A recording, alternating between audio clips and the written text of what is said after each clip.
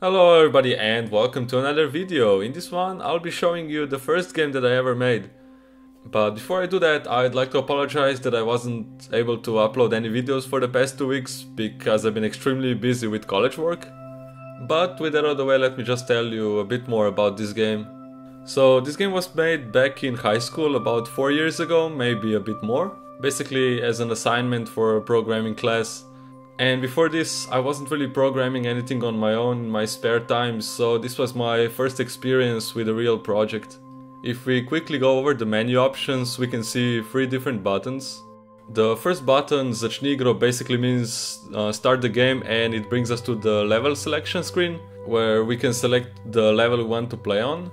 The second button isn't really that important because it just brings us to the screen where the settings should be, but that just brings us to a picture without any interactive elements, so we can't really change the settings of the game. And the last button is hot, basically just means exit and it closes the game. But with the menu covered, I can now actually tell you what the game is all about. As you can see from the video, the game is about a monkey that is trying to reach the red box on the final tower, whilst using the unsafe towers that regularly appear and disappear. And as you can see from the video, the towers covered in green are safe checkpoints. To play the game you use the WASD keys to jump forward, left, right or backwards. And you can use the directional keys on your keyboard to rotate the camera or zoom in or zoom out. And a small problem with buildings appearing and disappearing randomly are some moments like this where you have to wait for the correct buildings to appear. And if we're lucky and if we time it right, we can take a much longer path to the finish line. After we get to the end, a screen will appear that will basically congratulate us and give us an option to repeat the current level or try the next one. Or we can also go back to the main menu or back to the level selector screen. The first button will repeat the level, the second one will go to the next one, and the third one will go to the level selection screen. The fourth one will go back to the main menu.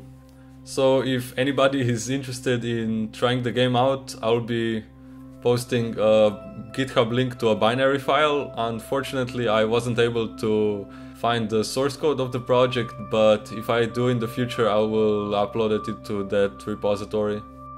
If we just go back, we can press the escape button to pause the game. And from there we can go back to the level selector screen or back to the menu. Also beware when selecting the levels, there are only about 4 levels playable. I think they're the first 4.